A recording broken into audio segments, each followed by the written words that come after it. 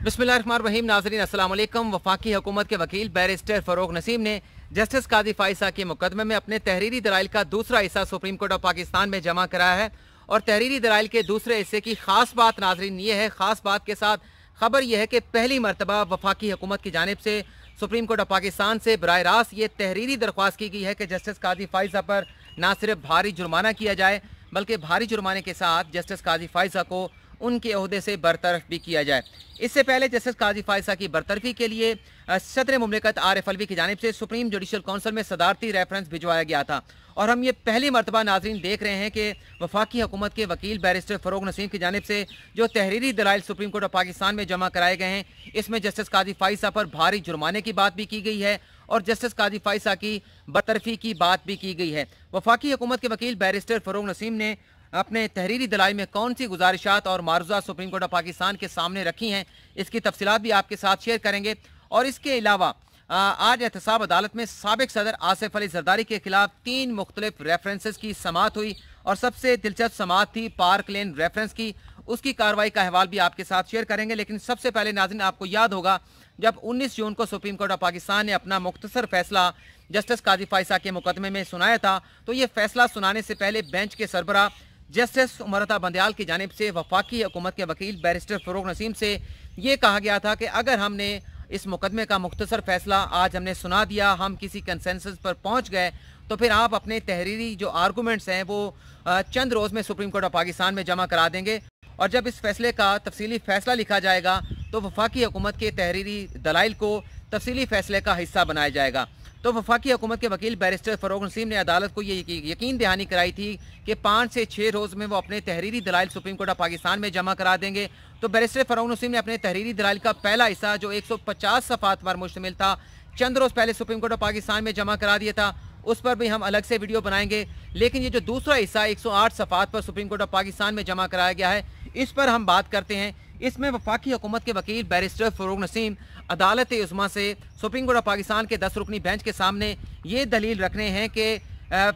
ये जो सदारती रेफरेंस सदर ममलिकत की जानब से दायर किया गया था और दायर करने से पहले जो डॉक्यूमेंट्स, जो इंक्वायरी की गई थी, सुप्रीम कोर्ट ऑफ़ पाकिस्तान को इन दोनों चीज़ों को अलग अलग से देखना चाहिए। इन दोनों चीज़ों को सुप्रीम कोर्ट ऑफ़ पाकिस्तान को एक साथ नहीं देखना चाहिए। और बैरिस्टर फरोग नसीम अपने दलाइल में ये भी बात करते हैं कि सुप्रीम जुडिशल काउंसिल के सामने और सुप्रीम कोर्ट ऑफ़ पाकिस्तान के सामने जो दरख्वास्त जस्टिस काजी फाइसा लेकर आए थे किसी भी जगह पर, चाहे वो सुप्रीम जुडिशल काउंसिल हो, चाहे सुप्रीम कोर्ट ऑफ़ पाकिस्तान हो, जस्टिस काजी फाइसा ने लंदन प्रॉपर्टीज़ की खरीदारी के हवाले से कोई जवाब नहीं दिया। इसके ज़राए आमदन के हवाले से कोई बात भी सुप्रीम जुडिशल काउंसिल और सुप्रीम कोर्ट ऑफ़ पाकिस्तान के सामने नहीं रखी गई। बैरिस्टर फरोग नसीम अदालत के सामने ये बात करते हैं कि तीन तरीक़ों के ज़रिए सुप्रीम जुडिशल काउंसिल किसी जज के खिलाफ इंजबाती कार्रवाई, इंतज़ामी कार्रवाई का आगाज़ कर सकती है। एक तरीका तो ये है कि सदर ममलिकत की जानब से किसी जज के खिलाफ सदारती रेफरेंस भेजा जाए। दूसरा तरीका यह है कि कोई शहरी उसको अगर किसी जज के खिलाफ कोई सबूत मिलता है कोई शिकायत है तो वो सुप्रीम जुडिशल काउंसिल में अपनी कंप्लेंट फ़ाइल कर सकता है। और तीसरा तरीका यह है कि अगर बर रास्त कोई मालूम सुप्रीम जुडिशल काउंसिल के पास आ, आ सकते आ जाती हैं तो सुप्रीम जुडिशल काउंसिल उस जज के खिलाफ अख्तियार के नजायज़ इस्तेमाल पर मिसकंडक्ट की खिलाफ वर्जी पर बर रास्त कार्रवाई का आगाज़ कर सकती है। और बैरिस्टर फरोग नसीम ये भी कहते हैं कि सुप्रीम जुडिशल काउंसिल का सो मोटो का अख्तियार ऐसा ही है जैसे सुप्रीम कोर्ट ऑफ़ पाकिस्तान अपना सो मोटो का अख्तियार इस्तेमाल करती है, जिस तरह से अवामी मफाद आमा के इशू पर, अवामी दिलचस्पी के मामला पर और बुनियादी हकूक़ के मामला पर मामला पर सुप्रीम कोर्ट ऑफ़ पाकिस्तान की जानब से सो मोटो एक्शन लिया जाता है। इसी तरह से अगर सुप्रीम जुडिशल काउंसिल के नॉलेज में ये बात आती है कि कोई जज मिसकंडक्ट का मरतकब हो रहा है अख्तियार का नाजायज़ इस्तेमाल कर रहा है तो इस पर सुप्रीम जुडिशल काउंसिल भी बर रास्त उस जज के खिलाफ कार्रवाई कर सकती है। इन तहरीरी दलाइल में हदीस का हवाला भी दिया गया है, इस्लामी रवायात का हवाला भी दिया गया है, और ये भी कहा गया है कि 20 अगस्त उन 2018 को जब एक वफाकी काबीना का इजलास बुलाया गया तो उसमें वज़ीर अजम इमरान खान ने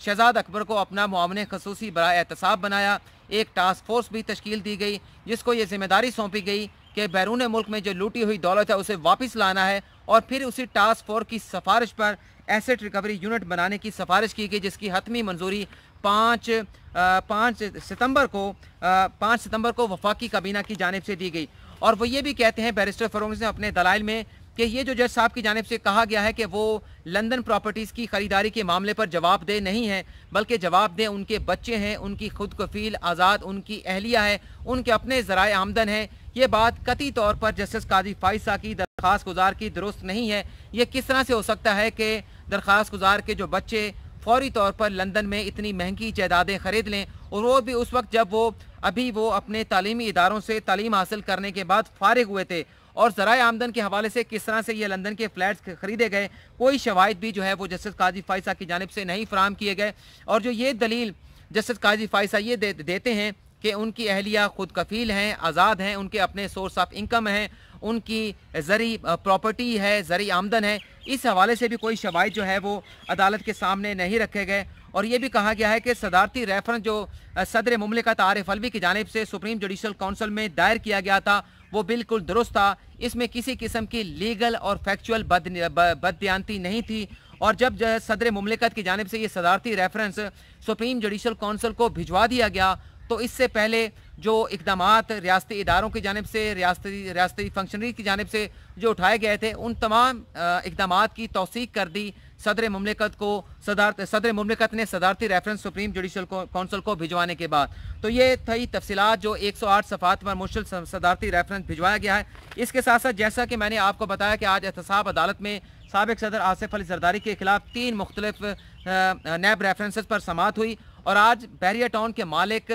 मलिक रियाज के खिलाफ भी एक नैब रेफरेंस पर समात हुई आइकन टावर रेफरेंस पर समात हुई और पहली मरतबा बहरिया टाउन के वकील मलिक रियाज जो है वो एहतसाब अदालत में पेश हुए और हाजिरी लगाने के बाद उन्हें फौरी तौर पर जाने की इजाज़त मिल गई और ना सिर्फ़ जाने की इजाज़त मिली, बल्कि हाजिरी से मुस्तकिल इसतना की दरख्वास्त भी मलिक रियाज हुसैन की जानब से एहतसाब अदालत में जज मोहम्मद बशीर की अदालत में दायर की गई, जिस पर नोटिस जारी करते हुए जज मोहम्मद बशीर ने नैब से तफसली जवाब तलब कर लिया है। इसके अलावा आज तोशा खाना रेफरेंस पर नवाज़ शरीफ की तलबी का जो इश्तहार उनके घर के बाहर लगा दिया गया था, आज एहतसाब अदालत में, एहतसाब अदालत में भी वो इश्तहार लगा दिया गया है कि उसमें यह कहा गया है इश्तहार में कि नवाज़ शरीफ जो है वो जानबूझकर एहतसाब अदालत में तोशा खाना रेफरेंस में पेश नहीं हो रहे तो उन्हें सदारा अगस्त के लिए जो अगली पेशी है, इस रेफरेंस के हवाले से जो अगली कार्रवाई है, उस पर तलबी का ये इश्तहार अखबार में जारी किया जाता है। और अगर नवाज़ शरीफ आइंदा समात पर पेश नहीं होते, जवाब नहीं देते तो फिर उनके खिलाफ इश्तहारी करार देने की कार्रवाई का आगाज़ किया जाएगा। सबक सदर आसिफ अली जरदारी के खिलाफ एक तो ठट्ठा वाटर सप्लाई गैर कानूनी वाटर सप्लाई से मुतलिक रेफरेंस की समात हुई, जिस पर सबक सदर आसिफ अली जरदारी पर चार को फर्द जुर्म लगाने का फैसला किया गया है। तमाम मुलजमान जिसमें नोडेरो हाउस के जो इंचार्ज हैं, नदीम भुट्टो, उन्हें भी आइंदा समात पर नोटिस जारी करके बुला लिया गया है। नैब की जानब से यह बताया गया है कि ये गैर कानूनी वाटर सप्लाई सिस्टम ठट्ठा में बनाई गई थी और इसमें गैर कानूनी तरीके से ये ठेके दिए गए थे और पैसा चलते चलाते, घूमते घुमाते फेक अकाउंट्स के ज़रिए नदीम जो है वो भुट्टो के पास पहुँचता था और जब नदीम भुट्टो से तफ्तीश की गई, उसके बाद सबक सदर आसिफ अली जरदारी को इस रेफरेंस में मुलजम बनाने का फैसला किया गया था और जो पैसा फेक पैसा फेक अकाउंट के ज़रिए नदीम भुट्टो के पास पहुँचता था, उस पैसे के ज़रिए नदीम भुट्टो नोडेरे हाउस का इंतज़ाम चलाते थे, नोडेरे हाउस के मामला चलाए जाते थे। अब हम बात कर लेते हैं पार्क लेन रेफरेंस की जिसकी आज बड़ी दिलचस्प समात हुई। सबक सदर आसिफ अली जरदारी के जो वकील हैं, फारूक एच नाइक, उन्हें जादूगर वकील भी जा कहा जाता है। उनकी जानब से ये कहा गया कि ये जो पार्क लेन रेफरेंस सबक सदर आसिफ अली जरदारी पर बनाया गया है, नैब की जानब से, नैब को ये अख्तियार ही नहीं था कि इस मामले पर नैब जो है वो सबक सदर आसिफ अली जरदारी के खिलाफ रेफरेंस बनाता। इसमें फारूक एच नाइक ने यह दलाइल अदालत के सामने रखे कि दो कंपनियाँ हैं, एक पार्क लेन कंपनी है, एक पार्थोन कंपनी है। पार्थोन कंपनी ने बैंक से लोन लिया। और बैंक से लोन लेने के लिए जो पार्क लेन कंपनी है, उसका मॉडगेज वहाँ पर कराया गया। फारूक एच नाइक ये कहते हैं कि डेढ़ अरब का कर्जा पार्थोन कंपनी ने हासिल किया, लेकिन नैब ये कहता है कि फ्रंट कंपनी जो है वो पार्कलेन कंपनी है। इसमें नैब का दायरा अख्तियार कैसे बनता है? अगर कर्ज लिया भी गया है पार्थोन कंपनी की जानब से तो क्या किसी बैंक की जानब से, नेशनल बैंक की जानब से किसी जगह पर नैब को ये कंप्लेंट की गई है? स्टेट बैंक ऑफ़ पाकिस्तान को ऐसी कंप्लेंट की गई कि जो अरबों रुपए का कर्ज लिया गया, उसमें डिफ़ॉल्ट हुआ है। क्या कोई ऐसा नोटिस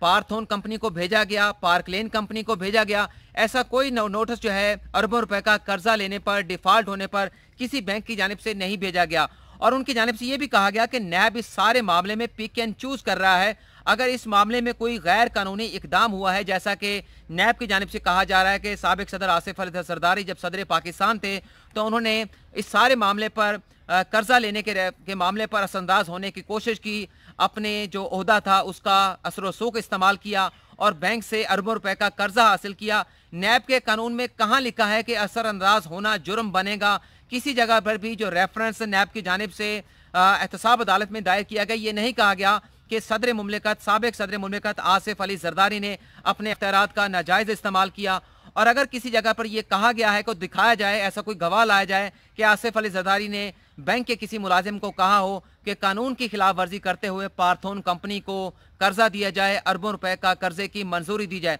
और इस पर फारूक एच नाइक ने यह भी कहा कि अगर ये कर्जा सही नहीं था गैर तरीक, कानूनी तरीके से लिया गया था तो फिर जो कर्जा देने वाली कमेटी थी क्रेडिट कंपनी मुतल बैंक थी उससे उससे क्यों मुलजम नहीं बनाया गया? नैब की जानब से सिर्फ़ आसिफ अली जरदारी को अब्दुल गनी मजीद को मुलजम बना लिया गया। तो जिस क्रेडिट कंपनी की जानब से कर्जा दिया गया उससे मुलजम क्यों नहीं बनाया गया? और इस सारे मामले का ताल्लुक जो है वो बैंकिंग कोड के साथ है और बैंक का कोई नोटिस नहीं है कोई डिफ़ॉल्ट होने की शिकायत नहीं है। तो किस तरह से नैब की जानब से इस सारे मामले पर जो है वो रेफरेंस बना लिया गया? नैब के वकील सरदार मुजफ्फर की जानब से ये दलील अख्तियार की गई कि एक फर्जी कंपनी बनाई गई थी पार्थोन के नाम से, सिर्फ़ बैंक से कर्जा लेने के लिए। वो कोई किसी बिज़नेस में, किसी कारोबार में इन्वॉल्व नहीं थी। सिर्फ़ ये कंपनी नमोदार हुई और बैंक से कर्जा लिया गया। जिस पर फारूक अचनाक की जानब से ये बताया गया कि अगर इस कंपनी को कर्जा लेने के लिए भी बनाया गया था तो इस पर नैब को परेशानी क्या है? तो नैब के वकील ने यह कहा कि परेशानी ये है कि वो पैसा फिर फालूदे वाले के अकाउंट से निकलता है, जिस पर नैब के अपना सबक सदर आसिफ अली जरदारी के वकील ने यह कहा कि आप कानून की बात करें, इस तरह की बातें ना करें कि फलूदे वाले के अकाउंट से पैसा निकला, उसके अकाउंट से पैसा निकला। आप ये बताएँ कि कानून की वायलेशन कहाँ पर हुई है, जिस पर आइंदा समात पर जो है वो फारूक एक्ट नाइक ने अपने दलाइल मुकम्मल करने की अदालत से इस्तः की है कि आइंदा समात पर वो अपने दलाइल मुकम्मल कर लेंगे। और नैब के वकील ने भी ये भी कहा कि इन्हें अपने दलाइल मुकम्मल करने दें, आइंदा समात पर अपने दलाइल मुकम्मल कर लें। और हम भी अपनी तैयारी कर कर आएँगे। उस मामले पर अपने जो भी दलाइल हैं, वो अदालत के सामने रखेंगे। अब 21 जुलाई को दोबारा इस केस की समात होगी। जो भी तफसीत होंगी, आपके साथ शेयर करेंगे। अभी इजाज़त